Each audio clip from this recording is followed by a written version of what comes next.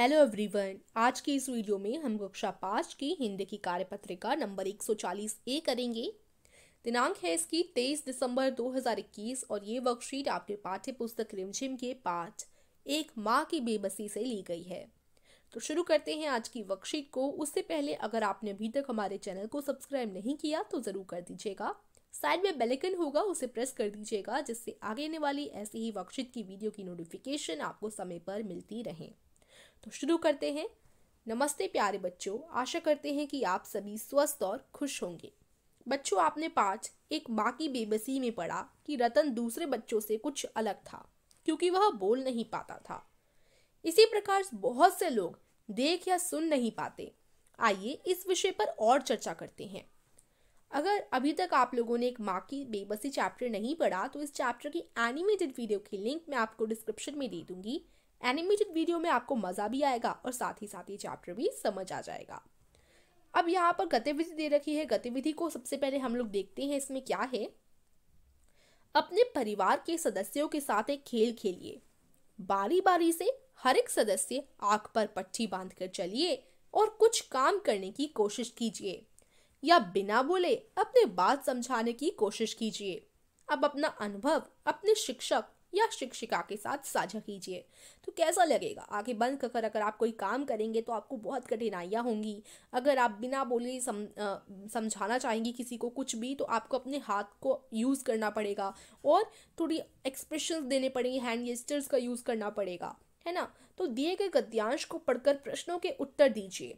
अब इस गद्यांश को हम लोग पढ़ते हैं इसमें क्या है? देखिए ब्रेल पद्धति एक तरह की लिपि है जिसकी सहायता से विश्व भर में नेत्रहीन व्यक्तियों को साक्षर बनाने के लिए अक्षरों की उभरी हुई बनावट को छूकर पढ़ाया व लिखाया जाता है। तो जो व्यक्ति देख नहीं सकते, उनके लिए ब्रेल लिपि बनाई गई है। ब्रेल लिपि में उभरे हुए अक्षर होते हैं, उनको वो छू सकते हैं और पढ़ सकते हैं, या फिर लिख भी सकते हैं।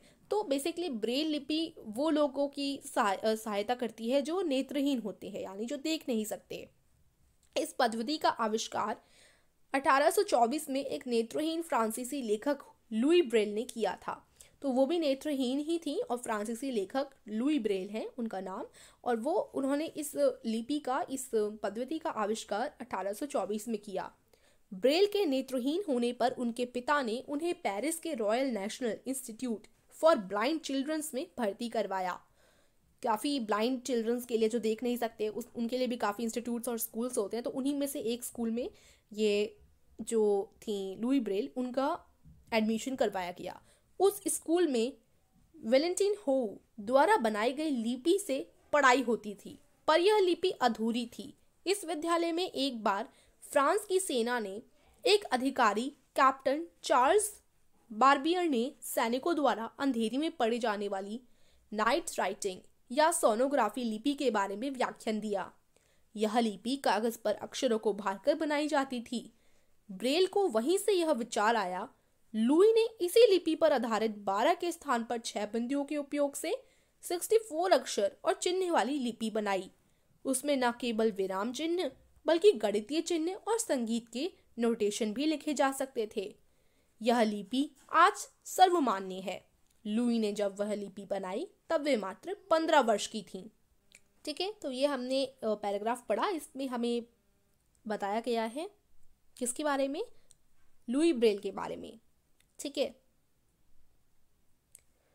तो वो एक इंस्टीट्यूट में पढ़ती थी। वहाँ पर नाइट राइटिंग या सोनोग्राफी से पढ़ाई की जाती थी लेकिन वो जो है अधूरी थी वो जो लिपि थी वो अधूरी थी। तो उन्होंने इसी से आइडिया लेकर क्या किया बारह स्थान पर छः बिंदुओं के उपयोग में सिक्सटी फोर अक्षर और चिन्ह वाली लिपि बनाई जिसमें उन्होंने एक्स्ट्रा चीज़ें ऐड कर दी और वो लिपि अभी तक आ, मतलब काफ़ी प्रसिद्ध है। आपने सुनी होगी ब्रेल लिपि ठीक है? ब्रेल पद्धति। उन्होंने बनाई और कब बनाई? जब वो केवल पंद्रह वर्ष की थी।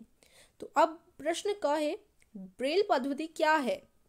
तो यहाँ से आप इसका आंसर लिखेंगे, ब्रेल पद्धति एक तरह की लिपि है जिसकी सहायता से विश्व भर में नेत्रहीन व्यक्तियों को साक्षर बनाने के लिए अक्षरों की उभरी हुई बनावट को छूकर पढ़ाया व लिखाया जाता है। तो यहाँ तक आपका ये आंसर नंबर वन हो जाएगा, ठीक है? तो मैं इसको हाईलाइट कर देती हूँ जिससे आप इजीली इसको देख सकें। यहाँ से लेकर यहाँ तक इसका आंसर हो जाएगा, okay? This is your answer number one तो आप देख लीजिए, एक बार मैं थोड़ा जूम कर देती हूँ। ब्रेल पद्धति एक तरह की लिपि है जिसकी सहायता से विश्व भर में नेत्रहीन व्यक्तियों को साक्षर बनाने के लिए अक्षरों की उभरी हुई बनावट को छूकर पढ़ाया व लिखाया जाता है।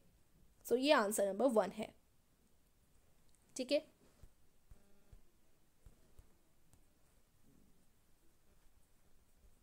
फिर आगे चलते हैं। आंसर वन की बात क्वेश्चन टू देखते हैं। ब्रेल पद्धति का आविष्कार कब हुआ और किसने किया?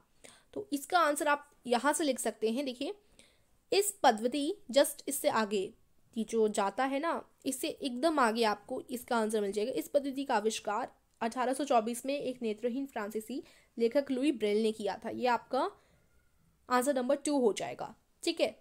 तो पहला आंसर स्टार्टिंग से लेकर लिखाया व पढ़ाया जाता तक है और उसके जस्ट आगे इस पद्धति का आविष्कार 1824 में एक नेत्रहीन फ्रांसीसी लेखक लुई ब्रेल ने किया। ये वाला आपका आंसर नंबर टू है।